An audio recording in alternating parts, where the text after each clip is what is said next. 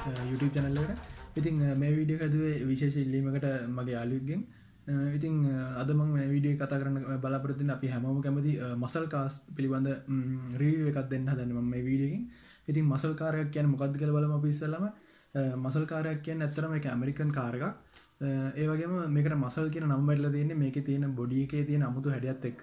ඉති හැමෝම ආදරි කරන්න මේ අමුතු බොඩිය එක හැඩේ ගොඩක් මේක රේසින් කාර් ටයිප් එකට තම හදල තියෙන්නේ. ඇති මේ තේරුම ගැන කිවොත් හැම මේ කායක ඇත්තරම මේක ඩික්ෂන් එක පවා අපිට තේරුමක් හොයාගන්න පුලා ඉතිං මේක තේරුමක් විදිර කිවොත්හම මේක හයිපෆෝමන්ස් කාරක් ඒවගේ රේසිං වල් ඩිලප් කර කාරක් ඒක මේක බලාගන්න හම කලසික් මොඩල් සිදර අප ගොඩක් ලසික් මොඩල් මොඩල් සිදිර බලාගන්න වෙන්නේ. එතවට මේක නිර්මාණ කරල දෙන එක්දස් නමචේ හැත්තෑ වගේ කාලයක් කාල තම මේ පටන්ගන දෙන ගෙන මසල්කාර නිෂ්පාදන කරන්න පටන්ගරන්න දෙන එක්දසම හැත්තෑ වගේ කාලයක් තුළද ඉතින් ඒවගේම මේක අනිකාරවලට වඩා දකින්න ලබෙන ලොකු වෙනසත්තින තම මේ කාරකට ලොකු එජින්න තියෙන ගන්නේ V8 වර්ගේ ලොකු එජින්න තියෙන මේ කාරකට ඒක එජිනක පවරක් වෙලා දෙන කාබිරටකින් ඒවගේම මේක රෝඩ රේසිං වලට එහමත් නැත්තං ස්ට්‍රීට යස් එකට එහමත් නැත්ත හයිස්පීඩ් ඩ්‍රැග් රේසිං වගේ දේවල් වලට මේ කායක උපයෝග කරන්න ඒවගේම ඔකට දැකලති ගැංස්ටර්ස්ලා ඇමරිකාවේ ස්ට්‍රීට්ස්වල මේ පාවිච්චි කන ගොඩක් මේ බහුලෝ මේ ගැංස්ටර්ස්ලා මේ කායක පාච්චි කරන ඇමරිකන් ස්ට්‍රීට්ස් වල. ඉතින් එයාලා මේ කාරක ස්පෝර්ට්ස් කාරයක් විදිර රේස් පදින්න වගේ පාවිච්චි කරනවා. ඉතිං මේ වීඩික මම කතා කරන්න එන්න ගොඩක් වර්ග තියෙන මසල් කාස්වල ඉතිං ඒ වර්ග උක්කොම ගැන මේ විඩිය කතා කරන්න මේ විඩිය කතා කරන්න බලාපොරතින ගොඩ ප්‍රසිද්ධ මසල් කාරයක් වෙන පලිමත් 426 හෙමි කිව්ඩා කියන කායක ගැන. ඉතිං මේ කාරක තවත් වෙනත් නම්බලින් හඳුන්න එවනට ඔරිජිනල් කම්පැනිනේම එක මේකට දාලා තින්නේ පලිමත් 426 හෙමි කිව්ඩා කියන කායක තිම ඉමජක් දාලති ඔකට පේනද ඉතින්. මේක මේ කාරක නිර්මාණ කල දෙන එක්දසම ඇත්තවේ ඉතින් මං කායක ෆීචස් ගැන කතා කරන්න මේක සීරිස් ප්‍රඩක්ෂන් කායකක් කියල ගන්නේ ඉගන්නේ එක දිකරම මේක ප්‍රඩක්ෂන්ස් කරලා තියෙන මේ කාගේ ඉතින් මේක කම්පැනිියෙන් එලිට දානකට ඩොලර් තුන්දස් එකසි හැට හතරක් වගේ වෙන්න ප්‍රයිස් රේන්ජ් එක තිබිල තින්න එවුණට දැන් වර්තමානය මේක ඔක්ෂන් වල තියෙනවා. එතකොට එක ප්‍රයිස් රේන්ජක ඩොලර් එක්ලක්ෂ පනස් දාහට නකම් වැඩි වෙලා තියෙනවා. ඉතින් එතින් හට මේ එන්ජින ගැන කතාකරොත් හෙම මේක තින හෙමි V8 කියන කාබිරටකින් පවරප් චෙන්ජින එකක්. ඒගැන මේක වී හැඩේට වී හැඩට පිහිටලා තියෙන එන්ජිනගේ පිස්ටන් අටකින් සමන්විත ලොකු එන්ජින් ඇතිනම කාරකට ඉතිං එවනට මේ කායක ඒවගේ ලොකු පොෆෝමන්ස් එකක් ගන්න පුළන් හතර තිබට මේ හදර තින ඇත්තන ෆැමිලිය සකරත් ගැලපෙන දිර ඒකන්නේ මිනිස්සු හතර පස් දෙනකට මේ කාරගේ හොඳට ඉඩ පාසකම හදල තියෙන ඒවගේම තව කියන්න පුළන් මේක වැල් ට්‍රේන් එක කියන්නේ එන්ජින් එක පිස්ටන් ක්‍රියාකාරී වන වැල් ට්‍රේන් එක ශාෆ් මවන්ට රොක කියන වර්ගට තම නිස්පාදන කළ. ගෙන කාණ්ඩ මයිතිවෙන්නේ එකන්නේ එකත් ගොඩක් පොෆෝමන් සතින් ඉහල මට්ටම තම නිපදලා තින් ඉතින් මේක ඩිස්පලේස්මන්ට් එක නැත්තං අපි කියෙන සීසි කියලා. ඉතින් ඩිස්පලේස්මට එක පට කිවතකට පුදුම හිතේ. ඩිස්පලේස්මට මේක තින හයිදස් නමසි අසු එකක් සීසීවලින් ඉතිතකොට අදකාල හැටියට අපේ රටේ පාවිච්චිකන ලොරිවලත් අපිට දකින්න පුළුවන් මේ වගේ ලොකු සීසි ප්‍රමාණ එජින්න ඇතින හයිදස් නමසි අසු එකක සීසි ප්‍රමාණ ඇතිය එජිනය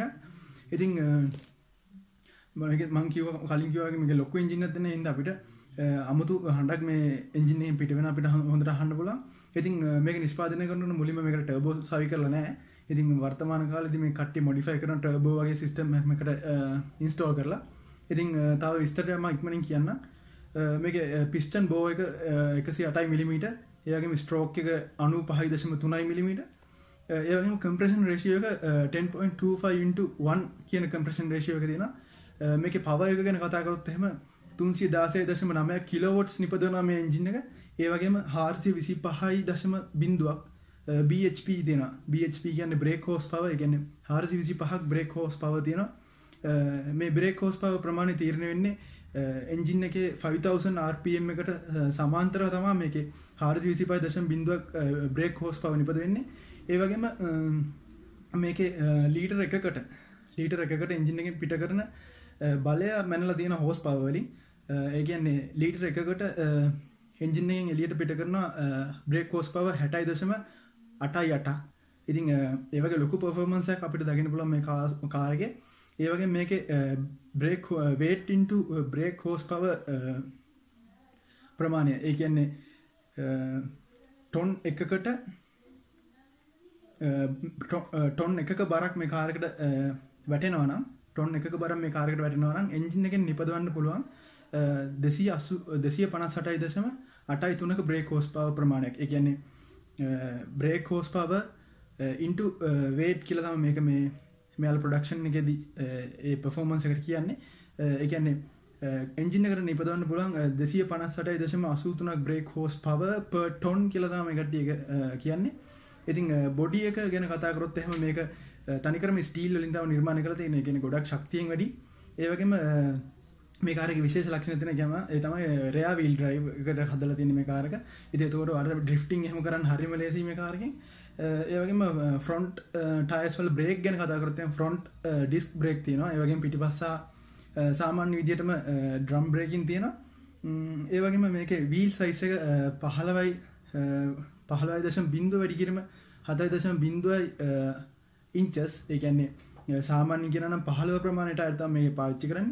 ඒවගේම ෆ්‍රොන්් සස්පේෂන් සස්පෙන්ෂන් තියෙනවා. ඒවගේම රෑවිල් සස්පෙන්ෂන් තියෙනවා.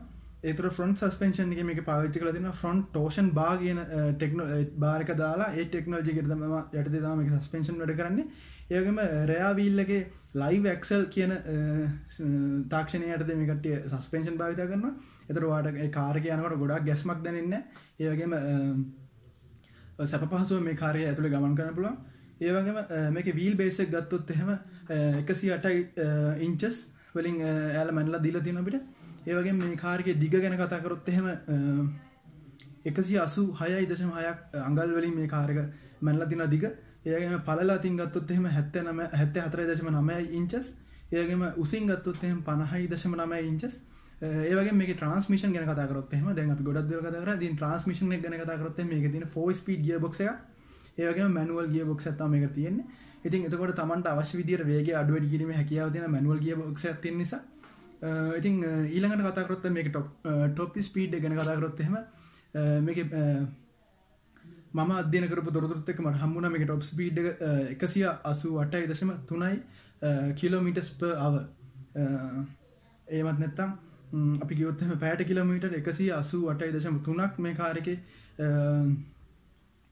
ටොප් ස්පීට විදිර සඳහන් වෙලා දෙෙන ඒවනට ඇමරිකාන්න ඇමරිකාවිදි මේක කිලමිටස් අව කියලන එකට මනින්න. මයිල්ස් පාව කියලම එකට මනින්න. එතකොට ටොප් ස්පීඩ මයිල්ස් පවලින්ග එකසි දාහතයි දශම් බිඳුව ඒවගේ මේක ස්පීඩ රේෂියෝස් දීල දෙන අපිට. එකන්නේ තපර ගානකින් කොච්චර මෙයා පෑට කිලමිට ගානක් යනවාද කියලා. එතකොට සොරි මයිල්ස් පාව මයිල්ස් පාව ගාන දීල දෙන අපිට.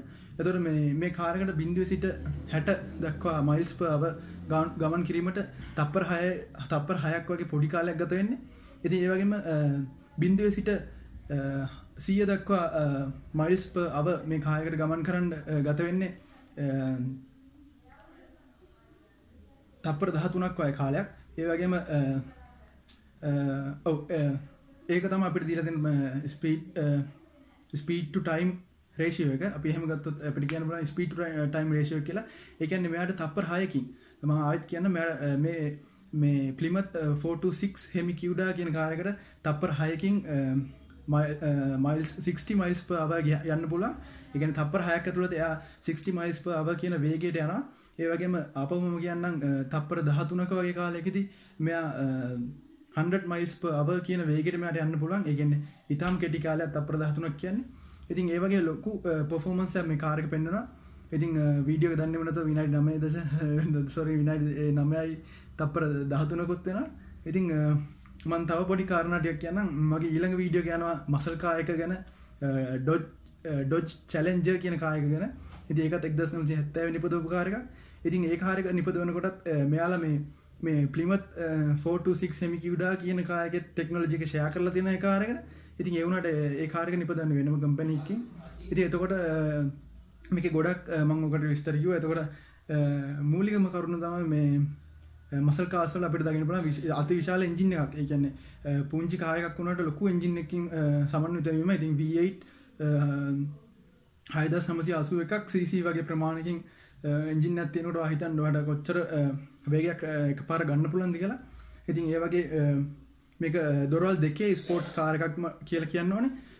ගොඩක් වෙලාට මසල්කා සෙන්ට දොරල් දෙකක් විදිට එතකට පිටිපස්ස කැබින් එකට අප සිට උස්සල තම ඇතුළට යන්වෙන්න ඇති ඒවගේ බොඩි එක ගැනම ගොඩක් දෙවල් කිව එතකොට මේක ඩක් රේසින් වගේ වලට පාච්චි කරන ඒ ඩ්‍රිෆ්ටිං වලට පාච්චි කරන ඉතින් එතර ගොඩක් ගැංස්ටර්ස්ලාව කට්ටිතා මේක යස් කරන්නේ. එති ඔකට ගොඩක් ෆිල්ම්සල දැකලා මේ ඇමරිකන් ස්ට්‍රීට්සල් ඩක් රේසින් එමදත් ගැංස්ටර්ස්ලා ස්ට්‍රීට් යස කරගන්න ඉතින් ඒත් එක්කම ඒ තොරතුත් එක්ක ම මේ වීඩිය කිවර කරන්න එන අද බලන්න මගේ මේ වීඩියක මසල්කාස් ගැන.